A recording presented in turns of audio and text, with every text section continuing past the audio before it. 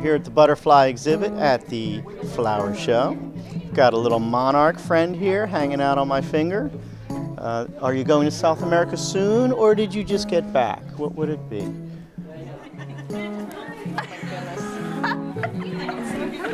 I'm glad you like my nose, buddy.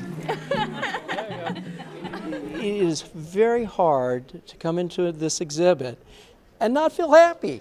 It is absolutely just some of the most wonderful things to see and feel. And they're, you can just see they're right up there wanting to be with you. And they'll land on you, and you can ha- actually have all sorts of fun with them.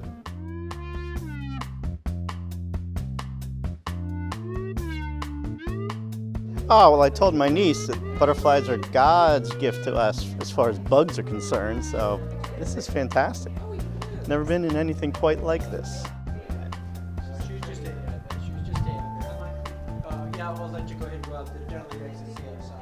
Basically, what I'm helping them do is they receive shipment and of the live cocoons, and um, I've been instructed to attach them to this silk towel by gluing the cocoon, and it has a little um, has a little indicator on the edge of it to let me know where I should attach it onto the towel.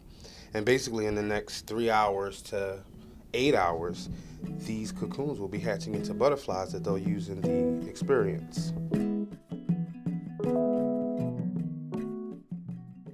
Butterflies are in trouble. Uh, just like the bees, uh, we are seeing a huge decre- decline in the populations of butterflies. We're seeing a huge decline in the population of bees. And so we talk about the reasons why and the destruction of the habitat and really try to encourage people to help, help rebuild that.